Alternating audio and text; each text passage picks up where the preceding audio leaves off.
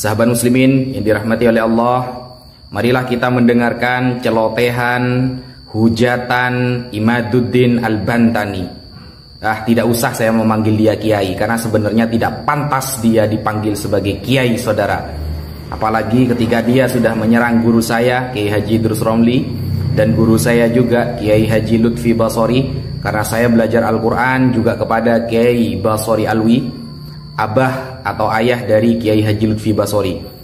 Hujatan yang sangat dahsyat yang diungkapkan dengan tidak ilmiah. Kita dengarkan dulu celotehan atau apa namanya ya? Dongeng Imaduddin Al-Bandani. Hei, Mbah Hasim As'ari ini sudah wafat. Ajaran-ajarannya sudah diberikan pada murid-muridnya dibentuk organisasi oleh Kiai Hasyim As'ari dibentuk konun as asasi kemudian mekanisme organisasi maka doa dan ridho Mbah Hasim As'ari hanya kepada NU yang ikut PBNU bukan NU yang garis lurus bukan NU yang ikut Idrus Ramli bukan NU yang ikut Lutfi Basori. Kalau dia ngomong NU tapi ikutnya Lutfi Basori kalau dia NU ngomongnya NU ikut Mbah Hasim tapi dia ikutnya Idrus Ramli. Dia serang NU dia serang Kiai NU dia serang ulama NU dia serang PBNU maka itu NU palsu yang tidak akan mendapatkan ridho dan kasih sayang doa dari Mbah Hasim As'ari. Alhamdulillah barusan kita sudah mendengarkan dongeng-dongeng dan celotehan-celotehan yang keluar dari mulut Imaduddin Al-Bantani saudara dia mengatakan hal-hal yang ah menurut saya sangat tidak ilmiah. Dan itu isinya cuma dongeng-dongeng di depan para pendukungnya saudara. Dia itu gentlenya di depan pendukung giliran diajak debat dia lari kabur ke mana-mana. Beraninya dia itu cuma di depan para pengagumnya giliran diajak debat ilmiah eh kabur ke mana-mana mewakilkan. Ya seperti itulah. Saya kira dia harus ganti pakai rok pakai anting pakai kalung pakai gelang saja. Tidak usah pakai jubah tidak usah pakai sorban.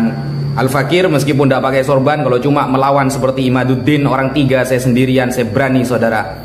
Nah ketika dia sudah mengatakan hal-hal yang tidak sepantasnya Lalu mengatakan NU garis lurus katanya Lalu menyerang guru Al-Fakir Kiai Haji Idrus Romli dan Kiai Haji Lutfi Basori Itu sangat-sangat menunjukkan bahwa dia orang yang fakir mengenai ilmu Nah nggak pantas dipanggil kiai itu Bukan kiai itu Pendongeng Dia itu pendongeng Kalau berani Ayo debat kalau berani. Sampai mana nyali kamu itu sampai mana? Gitu loh. Nah, kemudian dia mengatakan bahwa Kiai Haji Idrus Romli itu bukan NU, tidak NU katanya. Karena menyerang NU. Eh, bro. Kita kalau mau melihat karya-karya Kiai Haji Hashim Ash'ari. Saya, saya kasih satu contoh. Kitab Risalah Ahli Sunnah wal Jamaah di sana Ki Hashim Ash'ari menyerang habis-habisan pemikiran Wahabi Salafi. Dan kita lihat selama ini yang ada di depan menyerang, menjawab syubhat dari kaum-kaum Wahabi yang suka mengkafir-kafirkan, suka membid'ah-bid'ahkan amaliyah Nahdlatul Ulama yang paling di depan adalah Kiai Haji Idrus Romli, bukan Anda saudara. Yang ada di depan ketika ada orang-orang Syiah menyampaikan syubhatnya yang ada di depan adalah Kiai Haji Idrus Romli bukan Imaduddin saudara kita buktikan kemarin waktu debat nasab yang mengikuti pendapat Google yang literasinya ditulis oleh ulama-ulama Wahabi itu siapa? Imaduddin yang mengutip Google Kemudian narasi di dalam Google yang ditulis oleh orang Wahabi lalu dijiplak lalu mengaku-ngaku sebagai tesisnya itu siapa? Imaduddin. Berarti Imaduddin NU apa bukan? Bukan. Dia itu NU rasa Wahabi, rasa Syiah. Dan kemarin yang membatalkan nasab Ba'alawi menggunakan kitab-kitab orang Syiah itu siapa? Imaduddin.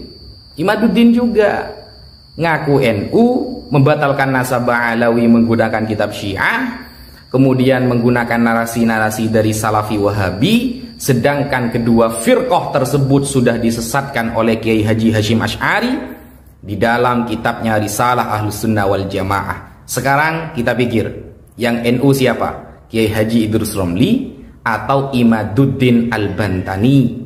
Ya, sebenarnya tidak pantas dijuluki Al-Bantani, Al-Kaburi, Al-Gugli.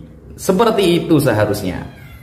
Sok-sokan ngaku tesisnya sendiri malah nyomot-nyomot Google bilangnya tesis penelitian. Eh ternyata narasi orang yang dia aku-aku. Kemudian dengan sombongnya mengatakan saya siap debat tiga hari tiga malam saudara. Ternyata setelah didatangi ke Banten eh cuma ngutus perwakilan. Itu pun perwakilannya gabrul semua makanya jangan sok-sokan kau orang NU itu alim-alim. Dan orang NU itu tidak akan mengutip pendapat-pendapat Wahabi untuk membenarkan pemikirannya. Tidak mungkin. Kita itu kalau menggunakan pendapat orang Wahabi untuk menghantam Wahabi sendiri itu teori mukobaboh dalam debat namanya. Kemudian kalau orang NU itu tidak menas apa tidak membatalkan nasab Alawi dengan menggunakan kitab-kitab Syiah kita itu pakainya Syekh Murtado Az-Zabidi, As-Samarqandi, Al-Hafidh As-Sakhawi dan lain sebagainya Imam Ibnu Hajar Al-Haytami dan sebagainya. Ulama ahlu sunnah yang kita pakai, ya kamu kitabnya orang-orang syiah semua. Loh kamu yang kamu pakai narasinya orang wahabi. Eh, dasar.